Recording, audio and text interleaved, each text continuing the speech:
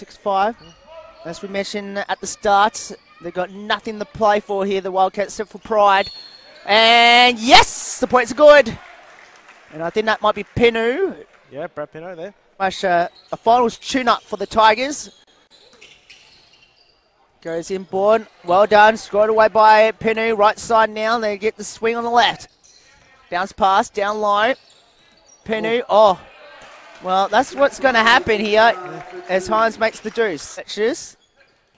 Goes into the low post now to Pineau. Oh, easy. Well done. Great turn of, you know, uh, motion that time there by Pineau. Has eight for the game.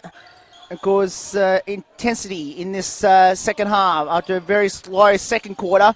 Bounce pass to Pineau and he popped it over the top and makes it home.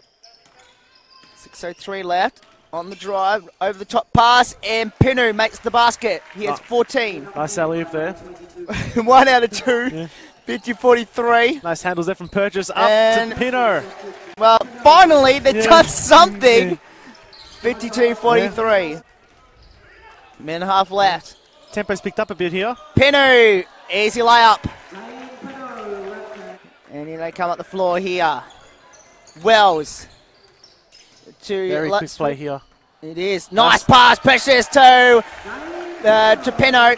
Oh, might, might have been lucky to get away with the trouble there. Yeah, it was. Luxford. He can out for three.